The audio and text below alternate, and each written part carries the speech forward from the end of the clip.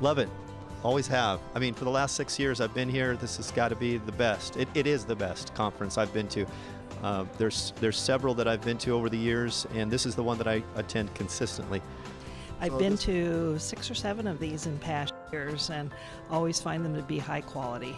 There's Well, really practical stuff that you can take back and and use. It's not just this is our philosophy around a culture, or this is not just our philosophy about um, anti-corruption bribery. There's some actual specific things that you can go back and start implementing.